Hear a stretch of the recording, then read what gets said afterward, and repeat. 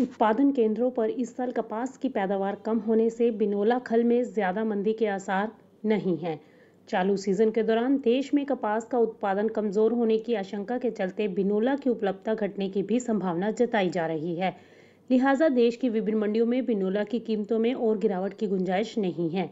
इसी बीच बिनोला खल वायदा में स्टोरिया लिवाली के कारण एनसीडीएक्स पर भी मामूली उतार चढ़ाव बना हुआ है। सप्लाई और डिमांड को देखते हुए बिनोला खल में फ़िलहाल लंबी मंदी के आसार दिखाई नहीं दे रहे। बिनोला खल में मजबूती रहने से ब्रांडेड पशु आहार के भाव में भी लगातार तेज़ी देखने को मिल सकती है। ऐसे में बाज़ार जानकारों का कहना है कि वायदा कारोबार में बिनोला खल में एक बार फिर से भाव अगर अट्ठाईस रुपए के ऊपर सस्टेन कर जाते हैं तो आने वाले समय में तीन हज़ार का स्तर भी देखने को मिल सकता है।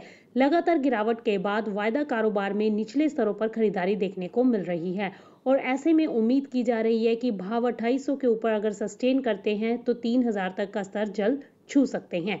Bureau report, market times TV.